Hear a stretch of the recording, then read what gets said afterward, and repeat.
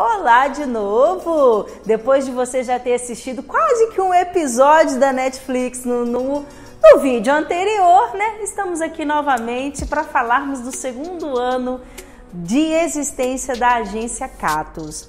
Lá em julho, quando terminou o aniversário, nós fizemos um bolinho bem rapidinho, tal, tal, cantamos um parabéns e seguimos a nossa missão aí de com a nossa paixão fazer o nosso trabalho da nossa empresa sempre com muito entusiasmo, sempre com muito amor e vitalidade para os nossos clientes, certo? E a partir desse primeiro ano, muitas coisas boas foram acontecendo conosco. Desde haja vista, nós contratamos a nossa colaboradora, querida Arielle, menina Arielle, que foi contratada assim, ó, num tiro do nada, tipo, de novo, eu, gente, a faculdade faz mudanças na nossa vida. Eu indo pegar o ônibus, encontrei com ela na praça, falei, olha, é assim, assim, assado, a gente fez uma entrevista de emprego na praça, esperando o ônibus. E aí ela foi contratada já para o outro dia começar e nós estávamos fazendo, atendendo um cliente que era um pedido enorme de coisas práticas na parte da papelaria, né? E a Arielle já chegou com a mão na massa e fazendo sem entender nada e pronto. E aí a Arielle entrou. E nisso tudo vem uma coisa muito interessante que nós é, fomos sempre aprendendo ao longo dos anos na CATS, ao longo do nosso dia a dia que foi começar a construir a nossa identidade e tipo setorizar a nossa empresa, assim como o Felipe falou que o nosso sonho era ter uma casa que tivesse a parte a, a, a sala da fotografia, a sala do atendimento, a sala da criação e tal. Nós não tínhamos condições de fazer isso.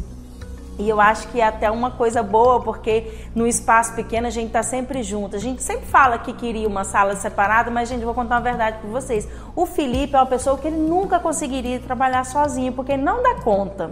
Ele precisa de gente, entendeu? Aglomerada, assim. Então, pausa, fecha aspa.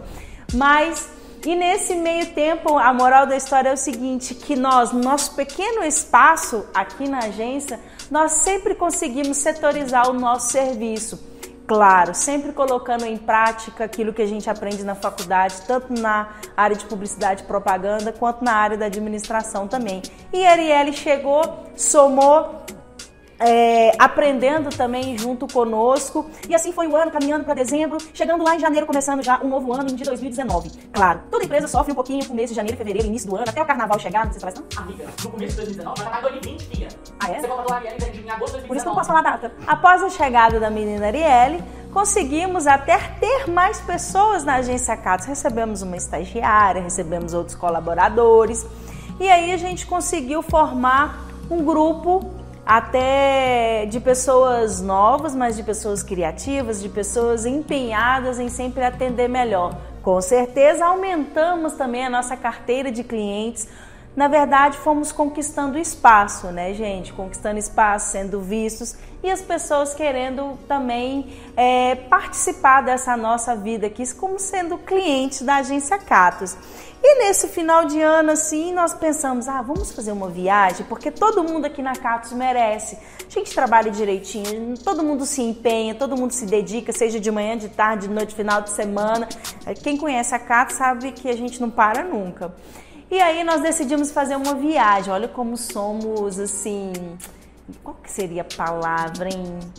Hum, não sei. Somos ousados, acho que a palavra é essa. Falou, vamos fazer uma, uma viagem em, em troca, né? Em benefício para todo mundo na agência que todo mundo merece. Seria um presente de Natal, um presente de aniversário, presente de tudo, né? Porque junta tudo. E aí nós fizemos uma viagem pra praia, sim, Brasil. Fomos pra praia, sim, Brasil. Chegou lá, tava chovendo, tava com frio, mas nós fomos à praia. E nessa viagem nós conversando, sempre conversando muito, sempre nas viagens conversando muito, falando sobre a casa, fazendo reunião de planejamento nas viagens que acontecem. E nós decidimos que no próximo ano nós trabalhar, iniciaríamos umas, uma coisa na Catos, tipo, todo ano nós escolheríamos um trecho de uma música e nós trabalharíamos o ano inteiro sobre essa música, até porque somos muito musicais, gostamos de música, então pensamos em fazer isso e decidimos na viagem que a música seria, claro, do nosso saudoso e querido Raul Seixas.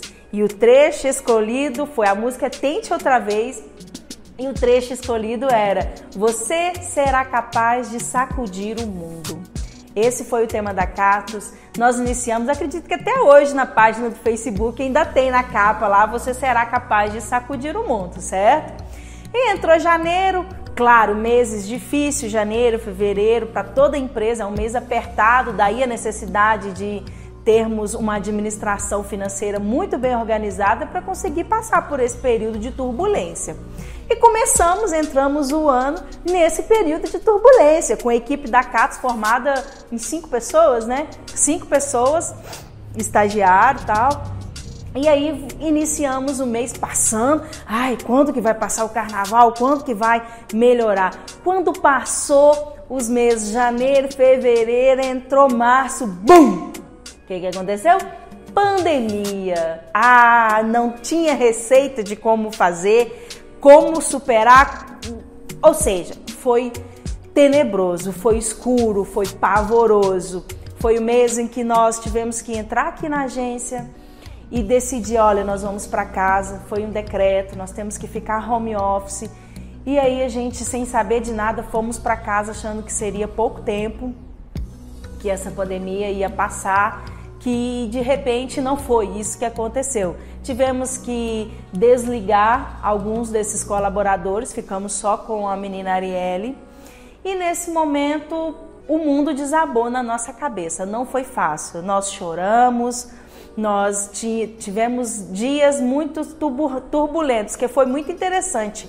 A pandemia chegou e aquele número, aquela planilha de clientes que nós tínhamos, ela foi acabando. Pá, pá, pá, foi cancelando, pá, pá, pá. E aí o desespero, o que é que vamos fazer, como vai ser, como vai ser, como será. Mas lembra que no primeiro vídeo nós falamos que é a paixão que nos move, é o entusiasmo, é o fogo que significa esse símbolo de pausa aqui nessa logo, nessa marca. E nós escolhemos como frase: Você será capaz de sacudir o mundo. E nós fomos sacudidos pela pandemia fomos e como fomos. E é muito é, interessante falarmos sobre isso, mas o quanto nós tivemos sabedoria para lidar com esse momento de crise. E somos uma agência de criatividade, somos o nosso trabalho requer criatividade, requer inovação. E nós tivemos que fazer isso para nós mesmos, diante de um número de Vou ilustrar para vocês. Vamos imaginar que eram 20 clientes e ficou 5 pensa no desfalque mensal que isso não foi. E aí o dinheiro que a gente tinha guardado foi chegando, foi chegando e não foi suportando mais. Mas nós falamos assim: calma, calma, porque o mundo mudou com a pandemia. As pessoas vão perceber que rede social vai ser a única forma de comunicação eficaz para ela falar com os clientes nesse momento de pandemia que ninguém está saindo de casa. E assim foi. E assim foi, é, conseguimos passar esse sufoco inicial até que os clientes começaram a retornar, a aparecer na agência, a procurar, a entender que o momento era de crise sim, mas de não desespero. Era o momento de pensar, refletir e seguir em frente.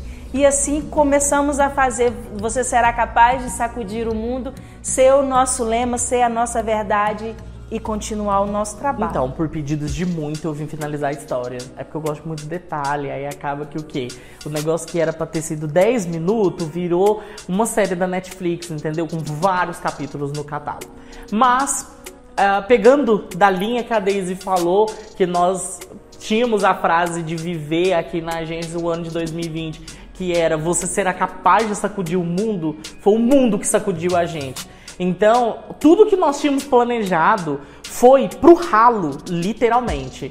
É, planejávamos ter vários outros colaboradores, vários outros clientes, expandir a sala e, e, ter outros móveis e outros sistemas e toda aquela coisa. E o mundo foi lá e pegou a gente, fez assim e mostrou pra gente que é o jeito que ele quer.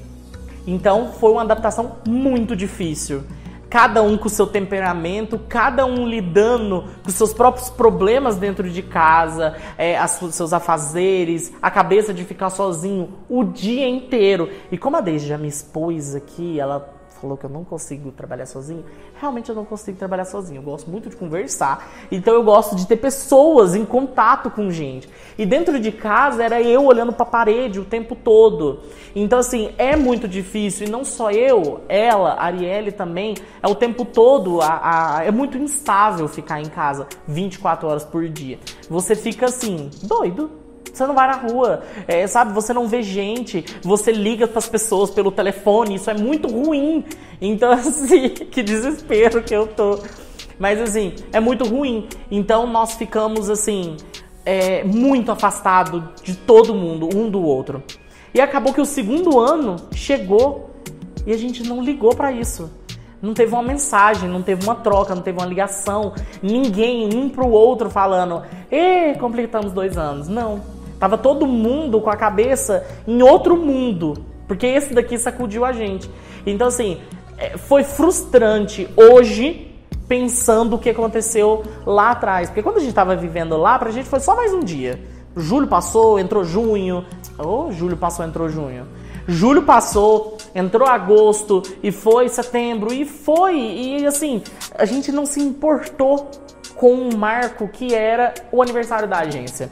Então, assim, hoje, olhando para trás, a gente vê que, assim, foi péssimo não ter, assim, ligado para isso. Tanto eu quanto a, quanto, quanto a Daisy, não ter, sabe, ter, ter esse ponto de chegar e só falar assim, parabéns, ê! sabe, não teve isso. Só que depois que completou o segundo ano e esses outros seis meses para acabar 2020, foi completamente diferente. Aí, meus queridos, eu te convido a assistir o terceiro vídeo, que é o até o terceiro ano dessa agência, que aí conseguimos sacudir o mundo. Nós conseguiu sacudir a galáxia inteira é, em nosso favor. Foram clientes, foram colaboradores, foi uma nova agência, foi um novo é, setor, foi uma, a criação de uma nova sala, foi tudo assim muito bem feito. O terceiro ano, do, o, o segundo ano, né, foi para nós um dos melhores das nossas vidas. Então assim, tá bom, já parei de falar. Assista, por favor, o terceiro vídeo. As meninas vão estar nesse terceiro vídeo, vocês vão ver cada uma falando bonitinho. E outra, que é outra?